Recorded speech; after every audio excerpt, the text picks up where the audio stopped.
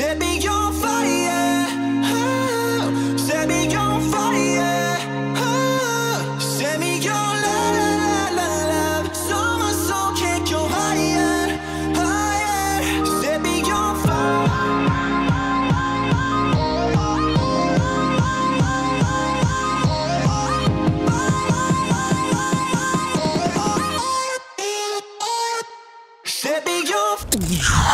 So liebe Leute, ganz kurz, bevor das Video beginnt, ganz große Entschuldigung dafür, dass wir uns so lange nicht gemeldet haben. Sabibo war gut krank. Sie lag auch die ganze Zeit im Bett, musste jetzt erstmal wieder zu Kräften kommen. Ich war währenddessen logischerweise mit Mila und hatte dann auch nicht wirklich die Zeit, mich um den Schnitt zu kümmern. Aber wir können auf jeden Fall sagen, dass Sabibo schon wesentlich besser geht. Sie läuft hier schon wieder rum, sie isst auch schon wieder wesentlich mehr und trinkt mehr. Das heißt, sie kommt wieder zu Kräften. Sehr, sehr wichtig. Vor letzter Woche schon gab es etliche Meetings mit Lombok Plastic Free, wo wir über die Flutkatastrophe auch gesprochen haben, sehr viele Sachen aufgelistet haben, was brauchen wir, was kostet was und wie viel können wir bestimmten Projekten zusteuern. Und natürlich, wie versprochen, wollen wir das alles transparent mit euch teilen, damit ihr wisst, wo euer Spendengeld hingegangen ist. Wir haben ein bisschen was dokumentiert, das zeigen wir euch jetzt gleich in dem Video. Ich wollte mich nur mal ganz kurz melden und Bescheid geben. Alles ist okay. Es geht jetzt weiter. Ich verspreche euch, in der Zwischenzeit ist wieder jede Menge passiert. Jede Menge Sachen sind hier angekommen. Ich hoffe, Sabibo geht's bald wieder schubidubi und dann können wir wieder saftig loslegen. Viel Spaß. Wunderschön, Freunde, sondern herzlich willkommen zu einem neuen Video. Wie versprochen gibt es jetzt ein äh, Flutkatastrophen-Update hier aus Kuta und ich muss sagen, ich bin sehr bestürzt, dass es tatsächlich dass jetzt immer noch so aussieht. Ich bin gerade in einer sehr betroffenen Region, wie ihr im Hintergrund seht. Hier ist alles überflutet.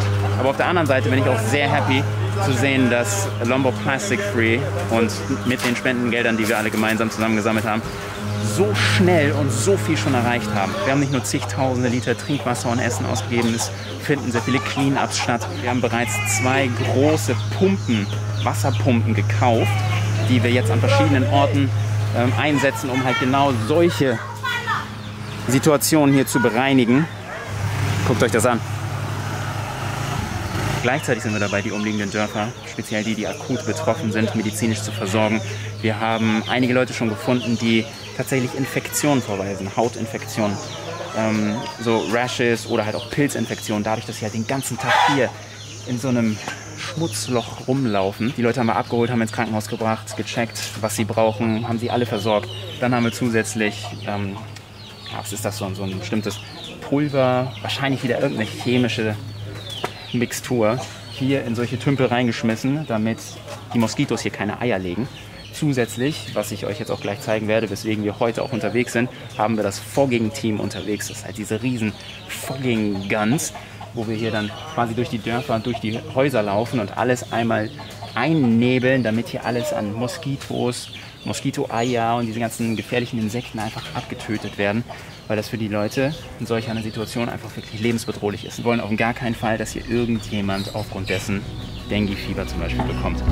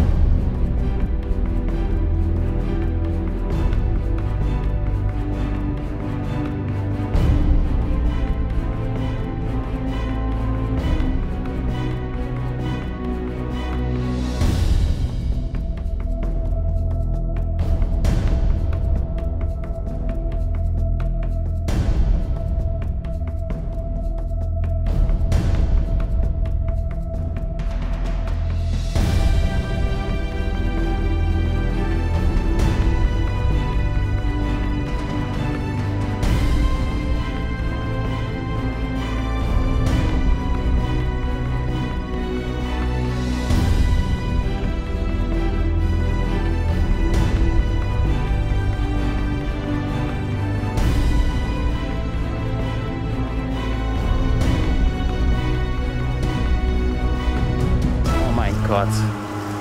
Guckt euch das an. Da hinten wohnt einer, der ist komplett eingedeckt. Alles unter Wasser. Das Wasser läuft immer noch rein. Kann man das sehen? Richtiger Flusslauf. Hier läuft es raus und es sammelt sich alles hier mitten im Dorf. Hier ist einfach alles überschwemmt. Ach, scheiße. Gerade mit Rissmann gesprochen, der meinte auch zu mir, dass das Problem ist, dass hier früher bei leichten Überschwemmungen, also so in dieser Form hat es halt noch nie gegeben, aber bei leichteren Überschwemmungen ist das wie in einem Flusslauf zwischen den Häusern durchgelaufen bis raus ins Meer und dann war das auch in Ordnung. Zwar nach ein, zwei Tagen war alles in Ordnung. Jetzt bleibt hier alles stehen, so wie ihr es seht, weil so viele Häuser gebaut wurden und aufgrund dessen, wie ich es eben schon erwähnt habe, diese Regularien nicht existieren, dass die Leute hier dazugehörige ähm, Drainagen und so weiter setzen müssen, damit, damit das Wasser abläuft, staut sich das jetzt alles hier. Und man kann den Leuten das auch nicht mal verübeln, weil wir haben jetzt ein Haus gebaut, wir haben uns natürlich auch keine Gedanken darüber gemacht. Wir haben natürlich jetzt auch eine Baufirma, die dahinter steht. Ähm, aber wenn, wenn hier Locals ein Haus bauen und das nicht wissen und das ist keine festgesetzte Regel, dann bauen die natürlich einfach ihr Haus und dann passieren solche Sachen. Interessant. Ah, das ist übrigens das Zeugs. Könnt ihr mal in die Kommentare schreiben, falls ihr euch damit auskennt. Das ist das Zeugs, was hier gegen die Viecher ins Wasser geschmissen wird. Ich will gar nicht wissen, was da drin ist. Wahrscheinlich übertrieben giftig. Also safe als nächstes Gummistiefel kaufen. Hier mit Flipflops oder mit Sandaletskis durch ist ja wirklich mal das Dümmste, was geht. Mama, das ist das Kanalisationssystem hier. Quasi nur so ein ausgehobener Kanal an der Seite der Straße. Der ist halt vollgelaufen. Tiefer ist der nicht. Das ist halt jetzt 20 Zentimeters max. Nicht mal. Füße waschen, Füße waschen, das muss jedes Kind. Zu viel Zeit mit Mina verbracht wird. Und ich weiß auch gar nicht, ob das so clever ist, hier die Füße zu waschen. Ja, habe ich auch gerade gedacht. Weil nicht, dass wir hier gleich, ein, nicht, dass wir hier gleich so einen, einen Skeleton-Fuß rausziehen. Haut abgefallen, war weggeätzt. So, sind wieder zu Hause. Und es wurde etwas installiert. Henry zeigt es uns. Sehr gespannt.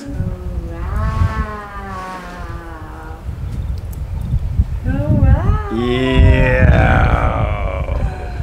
How Das ist cool. Nice. Looks a bit like a trampoline. Okay, Henry, you test it. You jump in. Jump in. Please. Is it really safe? Yes. Yes, it should be. I have to test it, right? this way. Nice. Wow, This is really cool. Wow, that looks so nice. Oh, it's comfort now. Mega cool. That's super nice. What do you think? How many people can lie on this net? I think it can hold five. Five people? Yes. Really? Oh yeah. Hey, wie geil das einfach aussieht. It looks so nice with the If it's- ocean. My weight, it can hold five. Okay. But it looks like an infinity net Does it? with the ocean. Amazing. Oh, this is really like klar. Es ist, ne, wenn du jetzt irgendwo da mittendrin liegst, ist es nicht so komfortabel, aber wenn man jetzt noch so Kissen oder noch so eine Decke reinpackt, Yeah. no, just add up a blanket and a couple of pillows. Oh yes. And a couple of beers. Yeah. Brudi! Cup of coffee. And what is really nice, you can use this as a Table. you can use it as a table. there. Yeah. Yes. You use it already. Or as an armrest. Hier nimm mal Milski. Sie will auch. Wow. Oh, das ist ja cool. Ach, das ist ein Sieht Kletterparadies. so cool aus. This is clever.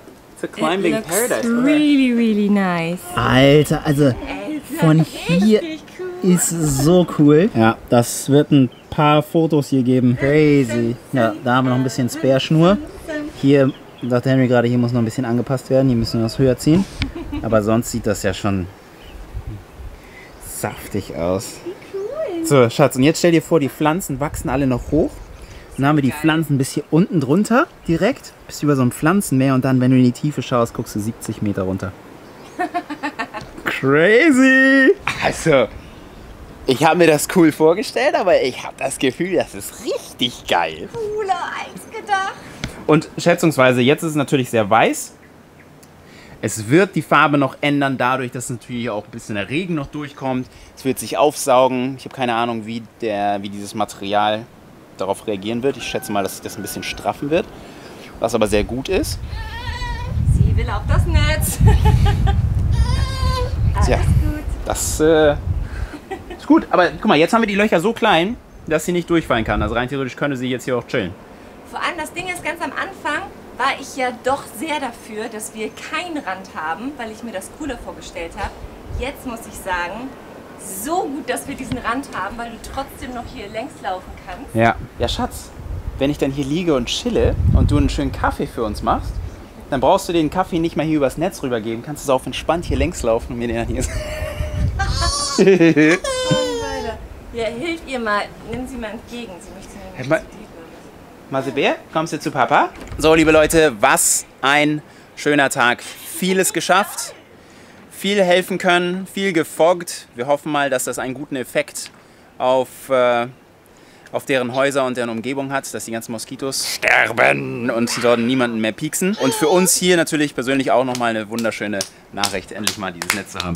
Wir freuen uns jetzt weiter, wir genießen den Abend, liebe Leute. Wir sehen uns in einem weiteren Video morgen. Oh, morgen gibt's Cleaning, Clean-Up. Die Regierung schickt Leute. Wir verraten nicht zu viel. Wenn ihr das nicht verpassen wollt, stay positive und tschüssi. Schurski! Alter, geil, hier. Freunde! Juhu!